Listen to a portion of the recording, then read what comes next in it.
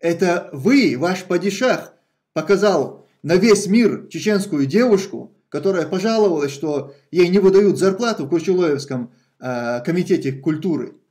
Сам факт, что ты к ним поехал, что ты пошел на эту низость, говорит о том, что ты, ты бессилен, ты не можешь закрыть мне рот, ты не можешь меня остановить.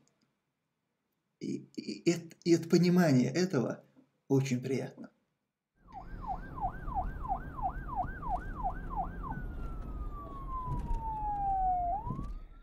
С 24 на 25 сентября я, как обычно, проводил голосовой чат в телеграм-канале глубокой ночью. Все было как обычно, но необычным стало появление Магомеда Иудова.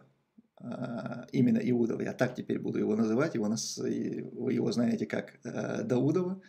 Но я убежден в том, что фамилия Иудов, она больше подходит этому человеку. Появился он, значит, в моем голосовом чате. Это спикер Кадыровского парламента, если кто его не знает. Он еще любит называть себя лордом. Появился в голосовом чате и начал предъявлять мне какие-то претензии по поводу э, опубликованного мною накануне ролика. Я покажу вам небольшой отрывок нашего с ним разговора с субтитрами. Вообще разговор был на чеченском языке, э, чтобы вы поняли э, суть этой темы, но весь разговор я выкладывать не буду. Я вообще хочу отметить, что Даудов изменился за эти несколько лет. Это уже не тот Иудов, который был два года назад, три года назад, когда я с ним разговаривал. Не тот спокойный, уравновешенный кадыровский политик, с которым можно было вести какую-то дискуссию. Сейчас в голосовом чате он предстал в виде типичной истерички. Ругался матом, очень скверно разговаривал, кричал, дрожал голос, истерил, в общем. И кто хочет послушать весь этот разговор со всеми матами, без цензуры, переходите по ссылке, по первой ссылке, это будет э, запись нашего с ним разговора на, в моем телеграм-канале. А я вам сейчас покажу небольшой отрывок э, нашего разговора с русскими субтитрами. نودو هو إيه دعي هلا سفني لي ماياك وبشي ستي ماياك دي حتم حتي كم برش واتر وفمي ليو دعي هلا دعي حويلي بس بس خزون احميل الدول هم دوي احميل الدول هم كير دروب دي اردون حلقة طبعا اس يو اش وات ور وان اس راح يوك غازي ليون فيتي اح اسا جيرغنا حق جولدن اش حيزه بحاله وقدين سان. يقصود عزيزك استعوك تروحه اسمه تقهومه دير دويا og suegitadu borjuita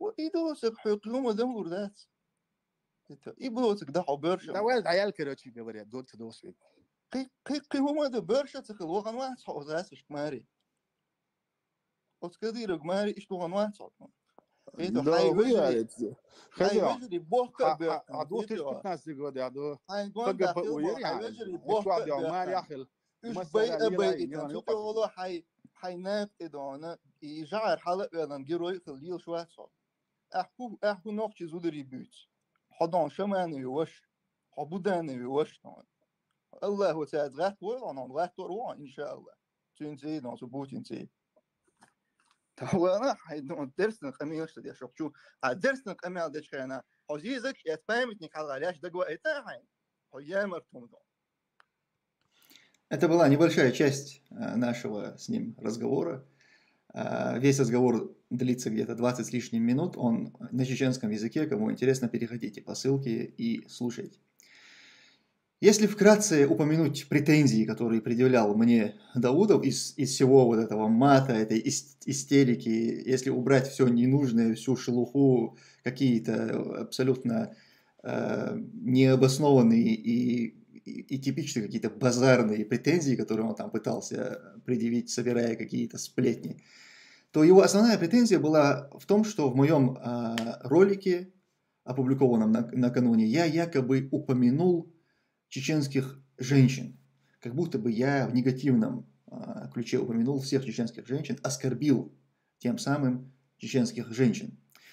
А, вот что мне э, сказал а, Даудов. ناخ چیزو داری اش حیق با الشوق ما حيغبي باغوي حما خلا قيت يقعدون اه تعمل تجيتان نوكي زود غربي نوكي زود هم ال تعمل تجيتان فتحوا الايت اس الايت Обвиняя меня в том, что я якобы упомянул в негативном ключе всех чеченских женщин, пытаясь выставить себя защитником этих женщин, когда я ему сказал, э, из себя не получится защитника, это наоборот мы пытаемся защитить чеченских женщин от ваших нападок, это вы нападаете на чеченских женщин, он сказал, покажи хоть одно место, где я или мой падишах, мы, то есть мы упоминаем, а, говорим плохо о чеченских женщинах. При этом правило вот этого определения, когда человек всех женщин оскорбил, или когда он оскорбил конкретно, конкретно какую-то женщину или группу а, женщин, это правило определил сам Даудов. Интерпретировав мои слова о них, о кадыровцах, хотя я, я говорил о них и говорил, что вы не являетесь хозяевами даже своим женам, то есть этих своих жен, слова, а даже если мы допустим, что это было сказано про их конкретно жен в негативном ключе, хотя я не говорил конкретно про них ничего, я делал лишь предположение. Но даже если мы это предположим, они это интерпретировали так, что это говорится о всех чеченских женщинах, якобы это оскорбление чеченских женщин. Так вот, я, ты не давал мне себе отвечать, Даудов, ты истерил, ты ругался матом у меня в голосовом чате, сейчас ты перебить меня не сможешь, поэтому сейчас я опровергну эти твои слова, и сейчас я покажу тебе, где вы говорили о о чеченских женщинах, опираясь на твои же правила. Если, если бы ты э, внимательно посмотрел тот самый ролик, который тебя так сильно ранил, то как раз в нем и было упоминание этих слов, сказанных вами о чеченских женщинах. Давай посмотрим еще раз эфир, который проводил Адам Делимханов, и что он сказал про э, жен наших лидеров в Ичкерии. شو dolčena, شو شو قوتم شو dolčena, شو شو وش يوحكايو شو يامرتم شو dolčena, شو شو وش يزود ريحي زوش, وش يزودش يامرت غليل, شو شو قوتم شو Твой товарищ Адам Делимханов говорит, что во времена Ичкерии наши лидеры, они посягали на жен друг друга, так сказать, передавали их друг другу. Это говорит твой товарищ. И и это, исходя из твоих же правил, упоминание всех чеченских женщин. Это оскорбление всех чеченских женщин. Он говорит конкретно, что они так делали. Я же, отвечая на эти слова вот этого ничтожества, я ему указал на слова твоего падишаха, который тогда, в 90-х, заглядывался на чужих жен, оценивал их фигуры и формы как он сам нам признался. Ведь мы с тобой и все чеченцы прекрасно знают смысл чеченских слов «не сел Тагер», о чем там идет речь. Мы ведь все прекрасно понимаем. Исходя из этого, я сказал, это ваш падишах.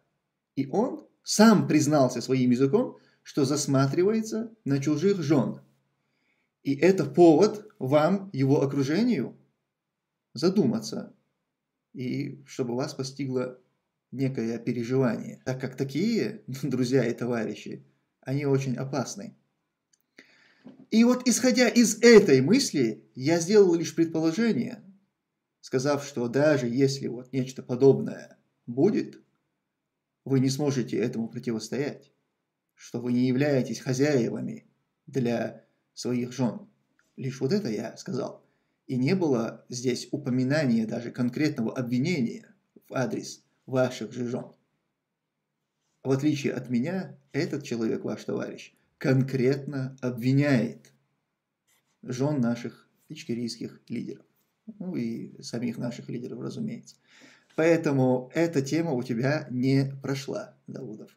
Ты знаешь, когда у вашего брата Тимати э, был конфликт с Киркоровым, он тогда записал песню, сейчас бы сказали, дис на Киркорова. И в этой песне были такие слова. «Это же тебя целовала Алла, так что завали, завали, хлебала». Так что завали, хлебала, Иудов. Не тебе говорить, о чеченских женщинах, о чести чеченских женщин. Не вам об этом говорить. Вы на весь мир позорите честь чеченской женщины. Вы на весь мир опозорили Айшат Инаеву только лишь за то, что она высказала критику в адрес э, поборов за газ. Просто женщина возмутилась, что вы, представители власти, собираете с людей деньги, делаете это э, как террористы. Она высказала порицание, вы за это опозорили ее на весь мир, вы привезли, показали по телевизору. Сначала Кадыров ее опозорил, вместе с мужем посадили. Вещи, которые неприемлемы в нашем обществе. Потом вы гастроли с ней устроили, отвезли ее в родной район на Теречный, там собрали людей, они ее проклинали. Она стояла там с опущенной головой. Это все сделали вы, и это чеченская женщина. Это вы, ваш падишах, показал на весь мир чеченскую девушку, которая пожаловалась, что ей не выдают зарплату в Курчулоевском комитете культуры. Вы привезли ее, показали на весь мир, и ваш падишах говорил, ты хочешь, чтобы я показал переписку? Какие фотографии ты отсылаешь своим парням? Ты хочешь, чтобы я это показал, говорил твой падишах? Мерзавец и паршивец. Это вы. Я мог бы эти, эти вещи перечислять бесконечно. я сейчас не говорю о тех моментах, где вы избиваете чеченских женщин. Я сейчас говорю лишь о том, что вы делаете публично, под камерой. Что делал ваш товарищ Ислам Кадыров, как он материл, как пытал электрошокером чеченских женщин и делал это на камеру. Это все делаете вы, не мы. Поэтому мы как раз-таки в защиту этих чеченских женщин упоминаем вам вот эти ваши косяки. Это мы как раз-таки защищаем чеченских женщин от вас, от ваших нападок, от вас, ничтожеств, а не вы являетесь защитниками чеченских женщин. Не пытайтесь себя выставить в роли защитников. Чеченские женщины не дурны, чтобы поверить в эту чушь. Ну и что касается других моментов, упомянутых в этом разговоре, я хочу обратить внимание также на то, что Даудов, он является таким последовательным, как бы, как бы это характеризовать. А, есть, есть этапы принятия вот э, Даудов в кадыровской системе это такой человек, который принимает. И когда изначально я уехал из э, республики, был похищен Исламом Кадыровым, когда я об этом рассказывал, кадыровская пропаганда это все отвергала. Говорили, что все это неправда, меня никто не похищал, ничего подобного не было. И именно сам Иудов был тем человеком, который эту правду принял и ее признал в разговоре со мной он это признал. Он сказал, да, ты был действительно похищен из-за внешнего вида, из-за бороды тебя похитили. Я помню, это 2018 год, это было первое принятие этой истины. И после этого уже официальная пропаганда перестала отрицать этот момент. Вот э, в разговоре со мной в этом голосовом чате Иудов э, принял еще один, признал еще один факт. Это нападение на меня, которое было совершено полтора года назад – покушение с помощью молотка. А дело в том, что официальная пропаганда опять-таки настаивает на том, что этого не было, это все постановка. Рупор кадыровской пропаганды Чингиз Ахмадов, более известный по прозвищу иллюзионист, он нам вообще показывал какие-то э, эксперименты, молотком бил, там что-то крушил и говорил, что это все спектакль. И вот сейчас Давудов официально в голосовом чате признает, таки да, говорит, действительно, нападение было с помощью молотка. Что ж, будем надеяться, что следующий этап принятия у Иудова будет. Он скажет, да, действительно, это мы его к тебе послали, и мы стоим за этим покушением. После нашего разговора с Иудовым к моим родственникам, разумеется, начались репрессии всех моих родственников, проживающих э, в Чечне.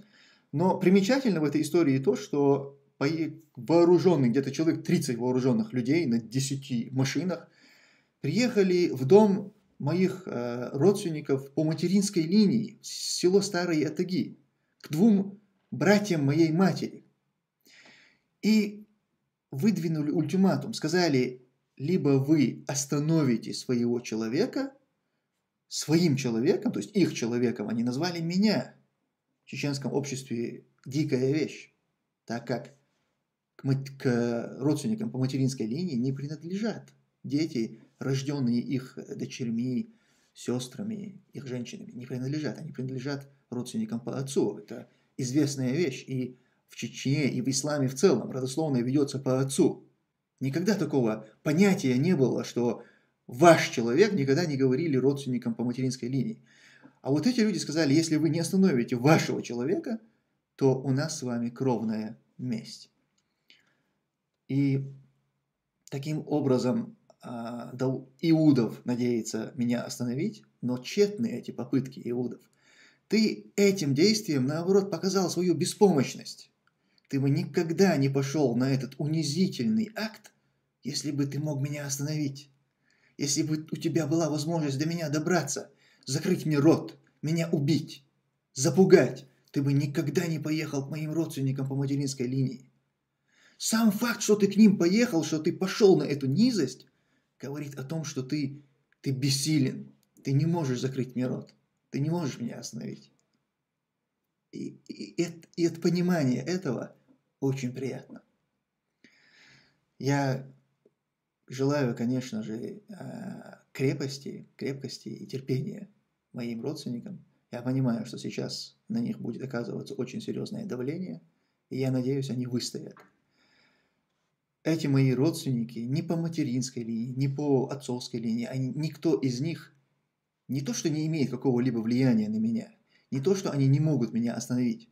У меня даже нет связи ни с кем из них с момента, с того момента, как я покинул э, республику.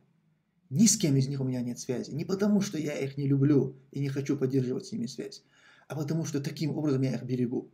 Я знаю, что если бы я имел с ними связь, то они были бы в опасности. Поэтому я с ними даже не, не связываюсь. Придет время, когда мы с ними а, не то что будем на связи, мы будем вместе сидеть, пить чай и вспоминать вот эти моменты. И что бы они сегодня не вынуждены были мне сказать, мой адрес, что бы они ни говорили, ничего из этого я не восприму всерьез. Все это забудется, как только пройдет время вашего недостойного правления. А оно пройдет. Империи рушились. Советский Союз, которому служили ваши отцы, НКВДшники, они думали, что он никогда не рухнет. Но Союза больше нет. Даже он рухнул. И ваша вот эта вот путинская Россия тоже рухнет. Вас тоже не будет. А мы, иншаллах, с нашими родственниками будем вас вспоминать и делать дуа чтобы Аллах воскресил вас вместе с вашими братьями Будановым, Шамановым, Путиным и вместе с ними вверг вас в огонь.